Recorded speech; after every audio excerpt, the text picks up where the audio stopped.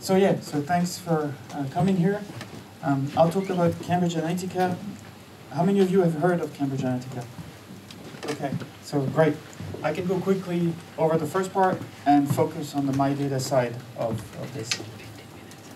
So I'll tell it slightly more personal then, because a lot of you have heard of Cambridge Analytica. Um, a while ago, early 2015, I thought, how can I push the MyData idea? And I thought, well, every four years, there's an election in the US, and we hear about all the great data mining that took place to help the president get elected. It's always the same pattern. And I figured, well, this is a good opportunity to actually tell people about the data mining in another way. In another way that doesn't buy into the PR completely. It was very strategic, actually. And in December 2015, so uh, quite a a bit later, there was an article in The Guardian about Ted Cruz a campaign using data that was harvested from millions of Facebook users by a company called Cambridge Analytica. It was a great article, and it immediately tapped into something I already knew, um, some research that had been done at Cambridge University on profiling people on psychographics scales. So what's that? Well, it's some form of metrics that are constructed on individuals to try to build profiles that inform about their psychology. So basically, there are five dimensions, the five main principal dimensions that help inform someone, that help in, inform about the psychology of someone. How open you are, how agreeable you are, or neurotic you are, etc. And it turns out that some research from Cambridge University from only 2013, 2014, so not that old, shows that this can be done very, very efficiently with just Facebook likes. So the graph on the right, I can explain it later, but basically if you if you know 10 likes about someone, you know that person at a psychographic level better than a coworker. I think it's 70 for a friend and 150 for a partner, and 200 better than yourself, something like that. Mm-hmm. So it's completely realistic, automated, and you can do it at very large scale. So I started investigating. I started really thinking, well, okay, this is at Cambridge University this, in the original Guardian article, they explained that some data had flowed from Cambridge University to Cambridge Analytica.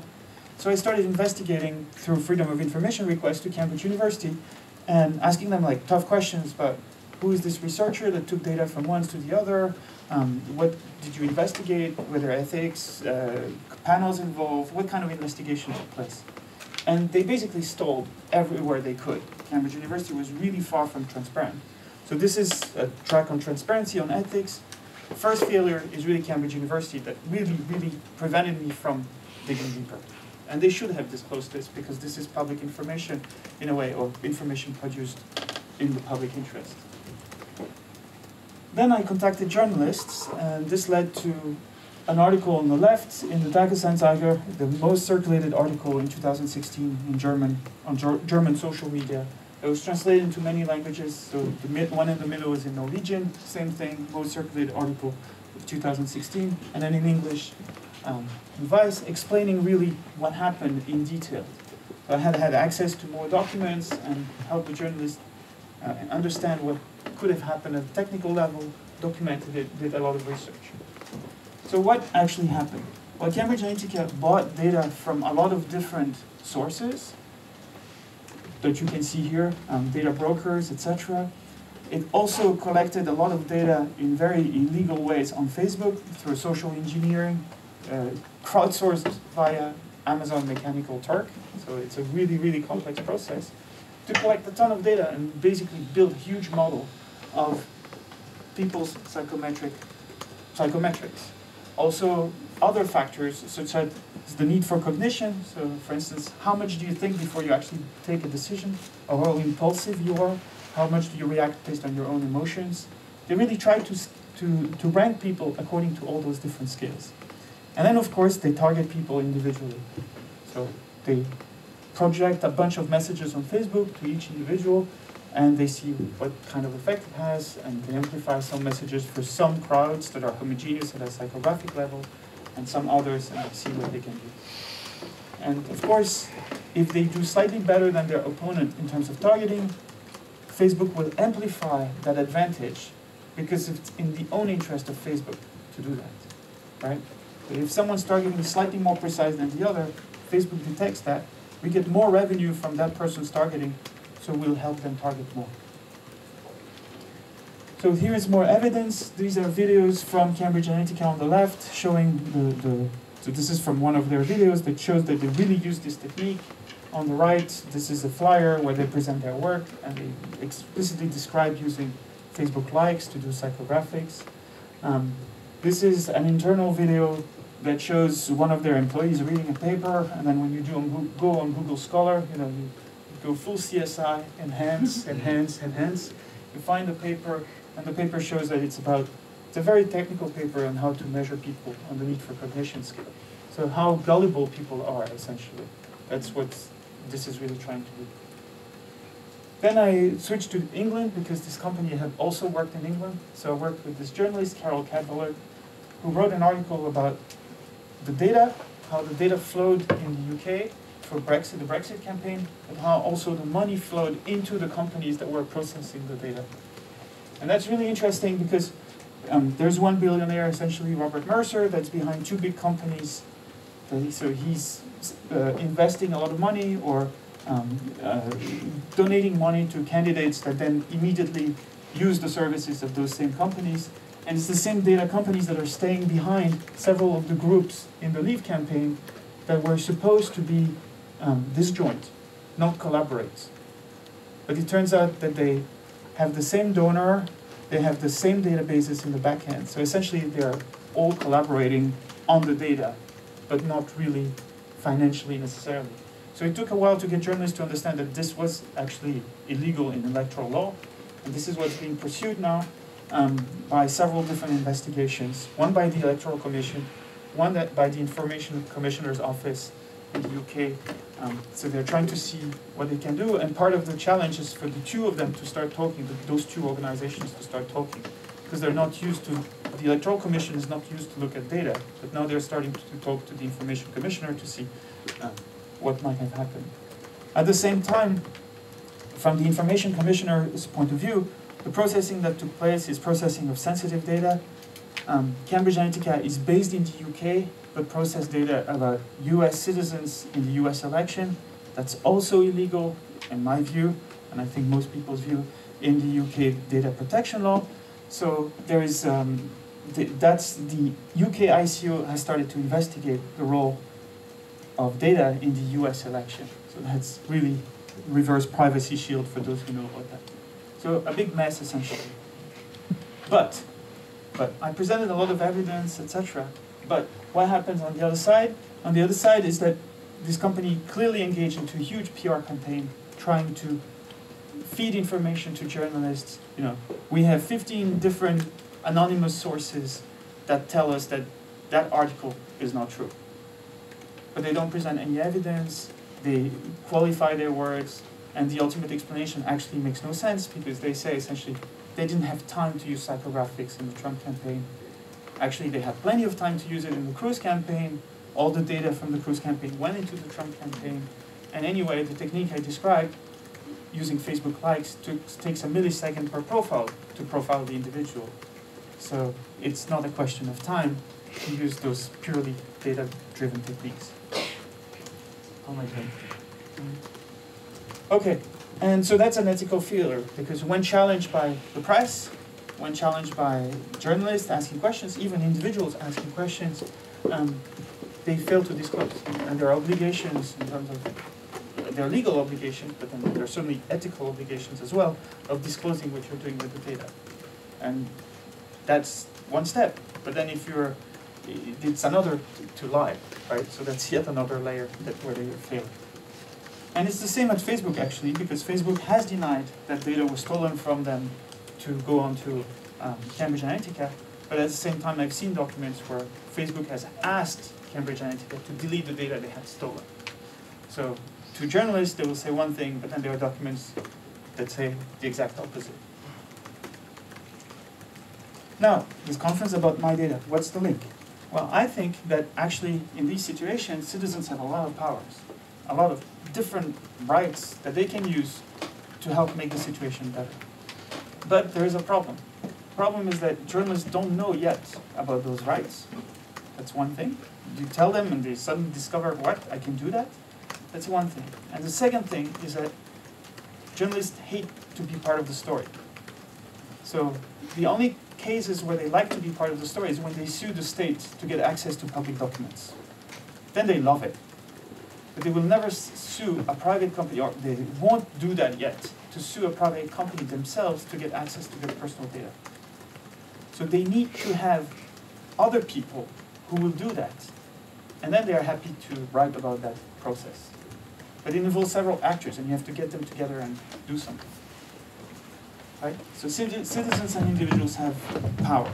So that's what I was trying to do for a while. I started documenting the procedure to ask for your data from Cambridge Analytica, and with the idea of interesting US citizens into that.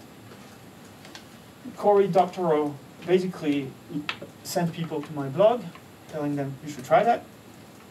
Then a few people tried, um, and this guy in particular, who is very vocal on Twitter, um, he basically was successful. I helped him a lot, and in the end, so his tweet got a thousand retweets when he started announcing that he did get his data.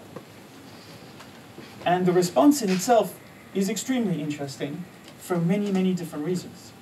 So here is this political profile, illegal in the UK. Cambridge Analytica just shot itself in the foot. This is evidence that they're processing sensitive data. They've never obtained consent. That's illegal. That's it. It clarifies the question. They respond with a letter that avoids answering all the questions that have been asked, like what's the source of your data, what's the destination, etc. So that's a problem. It's signed by someone who has ties with Russian oligarchs. Mm-hmm. There have been lots and lots of questions about the roles of Russian oligarchs behind um, Cambridge Analytica. When asked directly by journalists, they say we're a private company, we don't have to disclose our investors. But it turns out that in this letter, well, this guy signed. This is, you know, it sounds trivial, but it's a really important piece of information for a lot of journalists. Um, they're answering as Cambridge Analytica and not as SCL, the parent company. This has implications in all kinds of ways. So how they present themselves in this circumstance is really important, etc., etc. So you can derive a ton of information there. They don't talk about the, the psychographic profile itself, failure in data protection law. They don't talk about the source of the data that led to this profiling, another failure, etc., etc., etc. So it's not just about access, there's many more. They're failing all over the place. They've even pitched now for a job of a data protection officer, especially with experience interacting with the Information Commissioner's Office. So they're starting to feel a bit of heat. And now there's a lawyer that stepped up, a solicitor in the UK, to say, well, this is a human rights issue. I'll help you build a class action lawsuit out of it. Hmm. So now this is being done. Um, there's one solicitor, two barristers in the UK who are building the case with this person as a representative. And potentially the class is 200 million people, all the US electorate.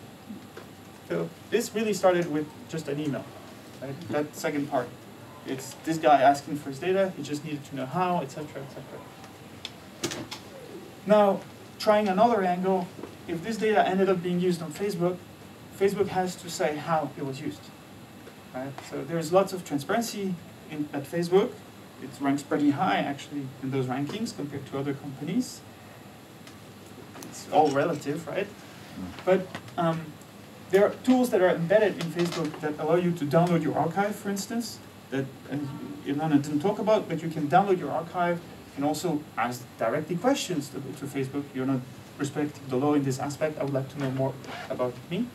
So I started doing that, and I started asking, okay, how am I being targeted on Facebook? Who are the advertisers who have uploaded my email address, signaling to Facebook, you know about me? Right? Facebook is great for that because everyone uses it, of course. All the advertisers do. So it's kind of the watering hole where everyone goes. Right? and they, for a while they stalled, they stalled, so I'm like, okay, well, I'll escalate it, a privacy shield, I can go into arbitration court. So I started doing that, when I called for a judge, when at some point Facebook was like, we don't understand, we're compliant. But they had actually changed in the background the tool for extracting their data. So now the tool has changed for two, 1 billion people or something like that. So if you go on Facebook now, you can download your archive, you can see the list of advertisers who have uploaded your email address. And that's just, again, just an email. Um, another effort, so this is, was a second effort, no, a third one, um, back in the UK, journalists can also, or journalists or individuals can also subscribe themselves to mailing lists of politicians with the express intent of providing data to the politicians so that they can do then access requests, ask the politicians for what information they have about them, and you get all kinds of interesting things like this one. Okay, you register yourself to the Leave.eu list, and you get emails about you know country first, party second, etc., etc. And at the bottom of the email, you get an ad for car insurance. Turns out that one of the big founders of Leave.eu is has uh, an insurance company, and he's using he's mixing the data from both. He's mixing the staff from both because of course insurance companies are used to profiling people, so he's using the same techniques in the political domain. And that's extremely interesting in itself, also a violation of data protection law.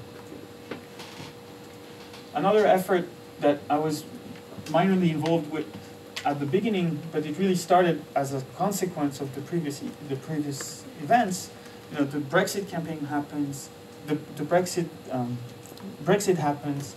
Then there is this reporting about the data, how it was used during the Brexit campaign, and then a few months later, there's the general election in the UK.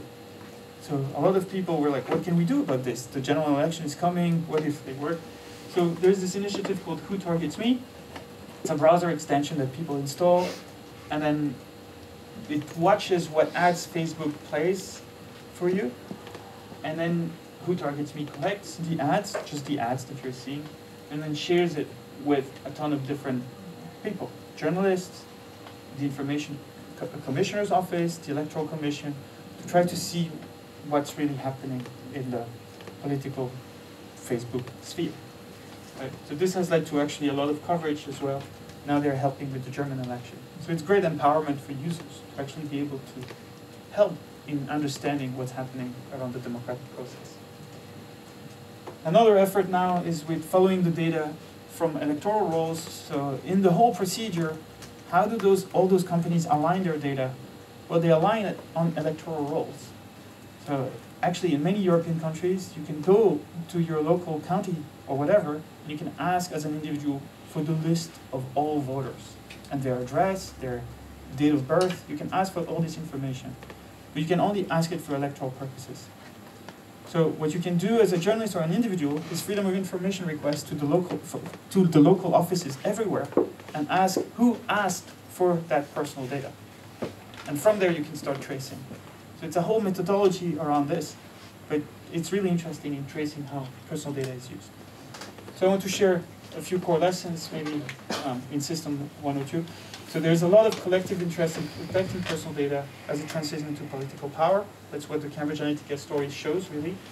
The new techniques that are possible for, for in, to investigate this, but they're difficult. And to go back to the ethics, it's extremely difficult to address companies on moral, ethical, or even legal grounds around personal data in particular circumstances. Thank you.